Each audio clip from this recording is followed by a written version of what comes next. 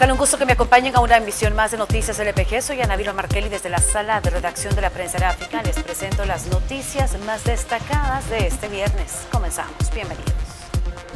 El expresidente de la Federación Salvadoreña de Fútbol, Reinaldo Vázquez, fue extraditado hacia los Estados Unidos la mañana de este viernes. Vázquez es acusado de fraude electrónico, asociación delictuosa para lavar dinero y lavado de dinero de acuerdo con la Fiscalía salvadoreña. La investigación contra el exdirectivo está relacionada con varios casos de soborno en partidos organizados por la FESFUT y en competiciones de la FIFA entre los años 2009 y 2011. Vázquez fue inhabilitado de por vida en el año 2019. También tiene una multa de 500 mil francos suizos. La audiencia inicial en contra del alcalde municipal de Ilopango, Adán Perdomo, fue suspendida. El funcionario es procesado por apropiarse de paquetes de alimentos proporcionados por el gobierno. La suspensión de la audiencia se debe a contagios de COVID-19 entre los representantes del jefe de ilicio.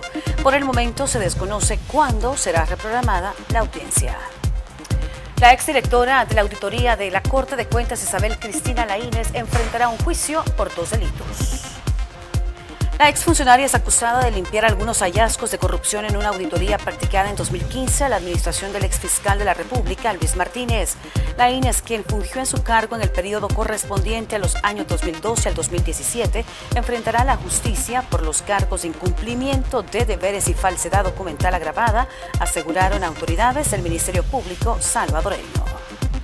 Y la Asociación de Periodistas del Salvador reporta un alza de casos de ataque y acoso digital a periodistas por parte de funcionarios públicos, de acuerdo con su informe anual de libertad de expresión del 2020.